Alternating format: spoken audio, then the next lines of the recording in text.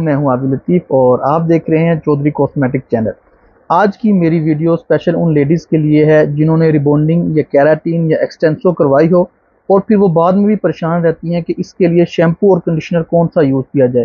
क्योंकि अगर आपने शैम्पू और कंडीशनर और हेयर मास्क कोई अच्छा यूज़ नहीं किया तो वो आपके सारे पैसे ज़ाया हो जाएँगे। जो आपने पच्चीस से तीस हज़ार अपने बालों पर लगाया है, वो सारा ज़ीरो हो जाएगा। तो उसके लिए आपको उसके बाद की जो केयर है, वो बहुत ज़रूरी है।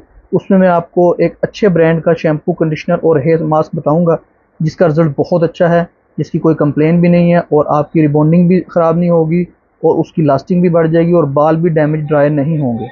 वैसे तो लोरियल का भी है शैम्पू कंडीशनर इसके अलावा ट्रेसमी का भी है और भी काफ़ी सारे ब्रांड हैं।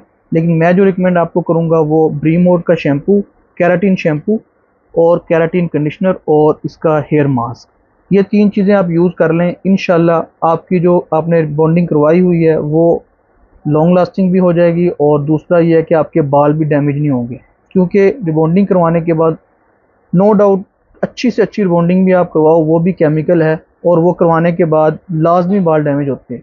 तो आप अगर कोई अच्छा हेयर मास्क और अच्छा शैम्पू अच्छा कंडीशनर यूज़ करेंगे तो वो आपके जो बाल डैमेज होंगे, वो कम हो जाएँगे। तो ये मेरा मशवरा आपको ये है कि आप ये तीनों चीज़ें यूज़ करें और इन आपको रिज़ल्ट बहुत अच्छा मिलेगा। और आपको अगर वीडियो अच्छी लगती है तो आप मेरे चैनल को लाजमी सब्सक्राइब करें। आपकी बहुत बहुत मेहरबानी। Thank you. अल्लाह हाफि